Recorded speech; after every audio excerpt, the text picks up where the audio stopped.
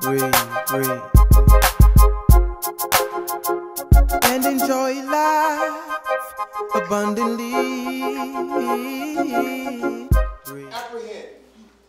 To arrest someone for a crime, arrest, catch, capture, seize, understand or perceive, appreciate, recognize, discern, perceive, make out, take in, realize, grasp, understand, and comprehend. So when I'm talking about apprehending by faith, you have to be able to take this stuff in. There's things about yourself that you must arrest. Right.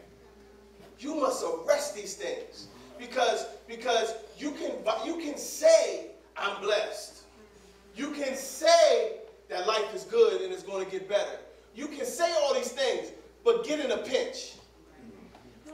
Who you are and what you've apprehended will show more in the pinch than it does when life is just going good.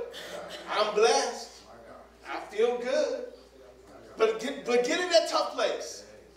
Get in that tough place because I heard T.D. Jakes say this God is still God of the tight places. And because He's still God of the tight places, you have to be able to say, I can see God in the tight place. And if you can't see God, you better have enough God stored up in you that when you in that tight place and you go mirror, mirror on the wall, who is the blessed of them all? You better see Jesus in the mirror.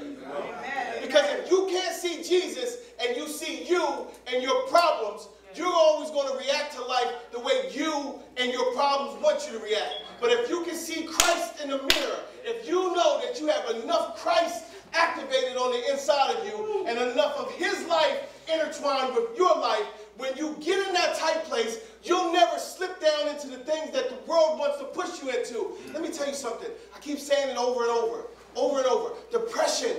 Depression is self-centeredness. You are looking at yourself and you're not looking to Jesus. Amen. It's an oxymoron for a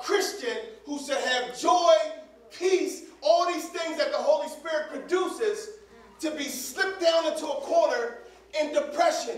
You have to fight to get into his rest. Yes. Stop fighting to get out of depression and fight to be more Christ-like. Yes. That's what it is about. Yes. That we fight to enter into his rest. Just